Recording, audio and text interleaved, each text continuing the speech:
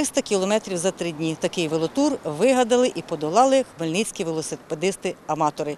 Вони мали на меті відвідати всі історичні місця нашої області, і це їм вдалося. Наш трьохдневний тур Наш тур це була подорож історичними місцями Поділля: Бакота, Кам'янець-Подільський, Хотин.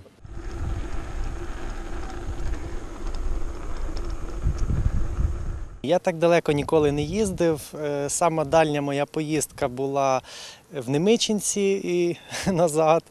Це 52 кілометри. Сили виправити теж цікаво, але більш все-таки е, цікаво це подивитись на нашу природу, на нашу красу. На машині, коли їдеш, е, не, не встигаєш помітити Велотур стартував у Хмельницькому і пролягав через Ярмолинецький, Дунаєвецький, Кам'янець-Подільський райони, в Хотин Чернівецької області та в зворотньому напрямку. І на старті плани довелося змінити. подвел железнодорожный транспорт. Нас підвів залізничний транспорт. Ми планували під'їхати електричкою, але виявилося, що того дня електрички не було. Довелося своїм ходом їхати до Бакоти 130 кілометрів нашими фронтовими дорогами розбитими. Але в Бакоті була чудова погода, чиста вода. Ми були зачаровані. Наступного дня рушили в Кам'янець, далі в Хотин, відвідали фортецю.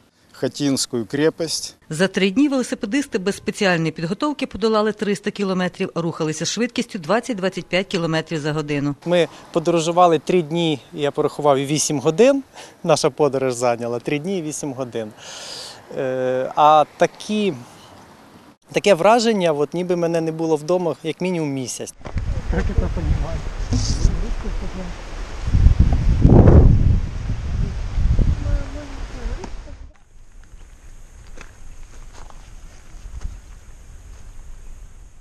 Получилось интересно і весело. Вийшло цікаво і весело. Хай жалкують ті, хто з нами не поїхав. Пусть жаліють ті, які с нами не поїхали. Їздили подорожувальники з звичайними велосипедами, втрапляли в болото, долали пагорби та польові дороги. Наступного року знову планують сісти на велосипеди і рушити в мандрівку. Світлана Поробок, Іван Мовчан, новини Поділля Центр.